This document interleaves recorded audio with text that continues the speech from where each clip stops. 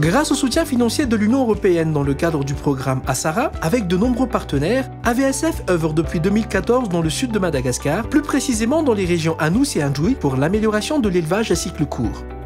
L'objectif étant d'apporter des solutions techniques innovantes adaptées aux ressources locales afin d'aider les éleveurs d'une part au maintien puis au développement d'un cheptel de base de volailles et de caprins pour assurer leur sécurité alimentaire.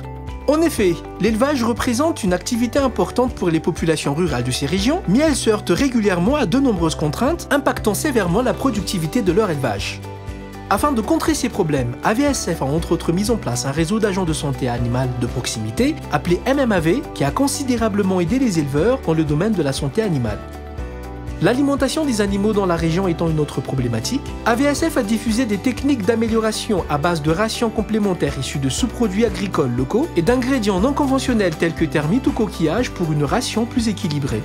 Des innovations simples et locales ayant un impact positif sur la croissance des animaux. L'apport journalier d'eau a également été un point clé d'amélioration.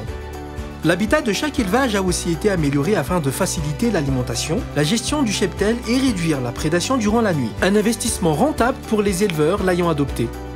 Enfin, la gestion de la reproduction a aussi été améliorée grâce aux sensibilisations sur la sélection des reproducteurs et à des techniques de sevrage des jeunes permettant ainsi d'accroître la productivité de l'élevage. L'adoption des techniques d'élevage améliorées a donc favorisé la réduction du taux de mortalité et l'augmentation du nombre de cheptels de base. Autant d'initiatives adaptées au contexte local qui permettent à VSF de soutenir les élevages familiaux du sud de Madagascar afin de pérenniser une source de revenus essentielle pour ces populations.